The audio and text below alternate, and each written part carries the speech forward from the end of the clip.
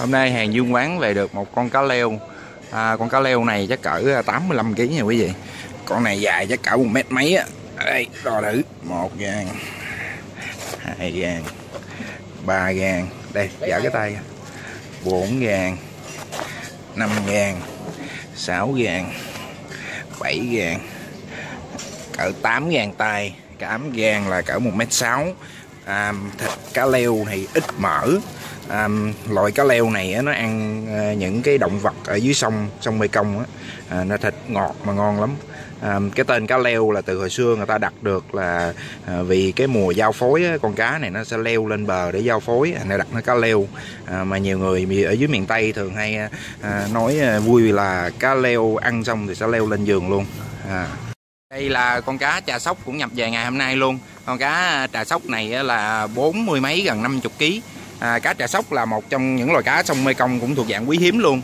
À, Nó ở dưới miền Tây thường hay gọi nó là cá sọc dưa Tại vì trên người nó có nhiều cái sọc. Nè quý vị thấy không? Những cái sọc này nè. À, Tuy là tên sọc dưa nghe nó hơi lạ lạ Nhưng nó ăn nó rất là ngon nha. À, ờ, những à, những người ở dưới miền Tây mà khi bắt được con này thường thường là chỉ giữ để ăn thôi chứ không bao giờ bán. Mà được đến cái size này thì thôi hiếm lắm.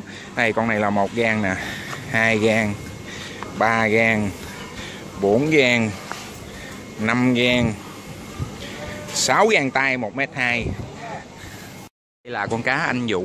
À, cá anh vũ này chắc cỡ chừng 8 kg là thuộc dạng khủng của cá anh vũ rồi nha quý vị. Cá anh vũ thường thường là chỉ chừng à, một ký mấy hai ký ba ký là dữ lắm rồi. Con cá anh vũ này á à, nó có cái à, đầu giống giống như con cá la hán mà cái phần ngon nhất là cái phần này nè. Ăn vô là thôi khỏi nói luôn. À, cá anh vũ này à, được gọi là cá tiếng vua luôn nha.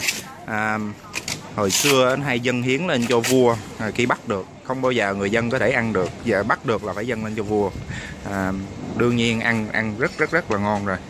À, đây là con cá hô à, 60 kg à, cái hô này mới về ngày hôm nay sáng này luôn. À, cá hô là cũng là một loại cá sông mê công rất rất là quý hiếm luôn. À, đặc biệt là những con cá lớn như vậy cá hô thì càng lớn càng ngon. Con này là để coi một gan hai gan ba gan bốn gan năm gan 6 gan tay 1m2